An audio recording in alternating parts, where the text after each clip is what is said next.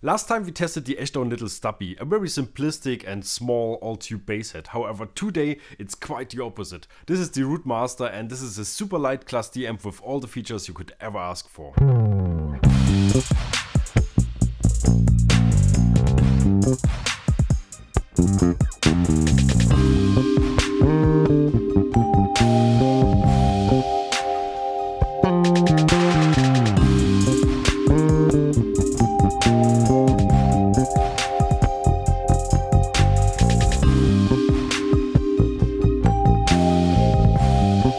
Hi,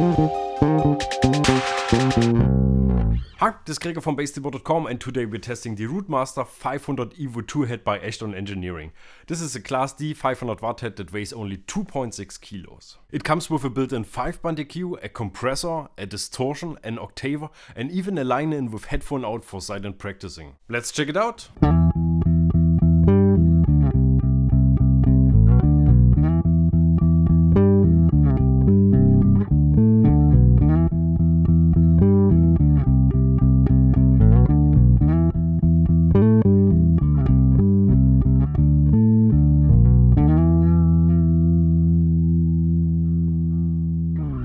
What you just heard was of course the octaver. It's called subharmonic in the Ashdown world, which is accurate, because how I technically understand it, it's not a real octaver. It takes the subharmonic content of your bass sound and separates it from the rest to make it volume adjustable. This is a nice tool to add a bit of low end for good measure, or get your heavily overdone dub sounds in place, or everything in between really. But let's go back to the beginning and check the basic features first. The Rootmaster 500 Evo 2 comes in a lightweight metal housing. On the front panel we have everything you could possibly need. Under an air grill on the left are sitting inputs for active and passive basses, directly followed by the typical Ashdown VU meter that switches the color when you mute the amp. After the input gain, the signal goes into a switchable 5-band EQ that allows a very nuanced sound tuning. To give you even more control, or let's say a completely different and alternative sound, you can use the shape switch. It's like a fixed EQ setting that boosts basses and highs.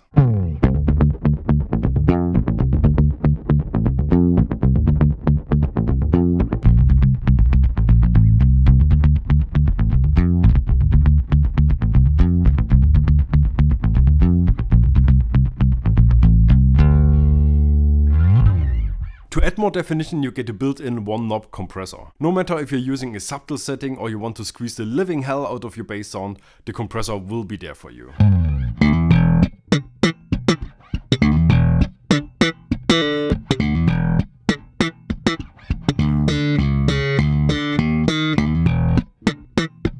All friends of dirty tones we got the drive section that can be controlled at the front panel or engaged by an optional foot switch. Same as the subharmonic and it goes without saying that these two go really well together.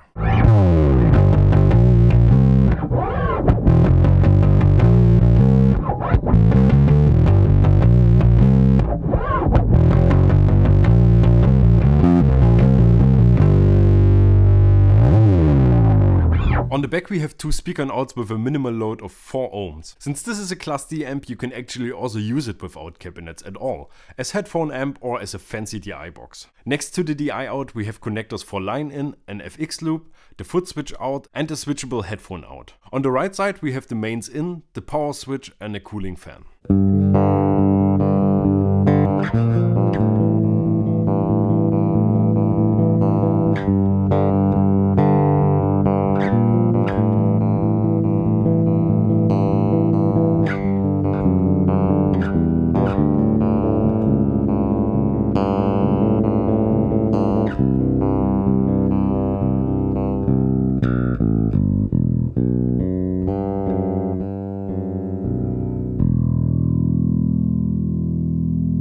One thing I noticed about the Rootmaster is how well it actually takes impulses. If you're like me and you're coming from a solid state or rather tube amp background, you're very familiar with the concept of headroom. That means there's always room above what you're playing, so you can play as loud as you want. The amp will stay always clean and give you a very natural representation of what you're doing at your bass. A lot of these modern class D amp don't really do that or only do it up, up to a certain point because if they're getting too loud, if the impulses are getting too high, there's a compressor at the power amp section kicking in to protect the internal technical whatever things from doing stuff that will would break the amp. This amp, however, seems to be very true to what you're playing and seems to sound very natural, which I enjoy a lot. And of course, uh, at a certain point, if you if you go really loud, it will also start to compress. That's just the nature of these amps. But uh, until there, there's a long way with lots of headroom and lots of great sounding tones. And uh, yeah, again, I enjoy this personally very much. I think in conclusion, this amp really is basically everything you could ever need. There's all the things that you even might not really need, but it's nice to have them for, for fun sounds like the distortion, like the compressor, like the shape.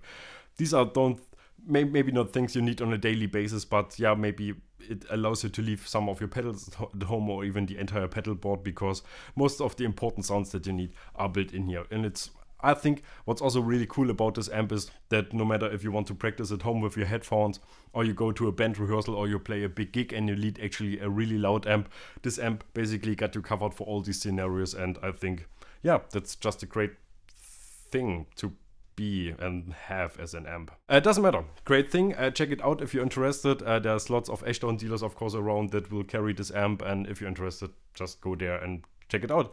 That's it for today. I hope you enjoyed this review. If you did, don't hesitate to subscribe to the channel. We are putting out reviews like this every week and also lots of other cool bass videos. And yeah, if you like this video, smash the like button below. And I guess that's it for today. See you next week and have a wonderful time. Bye.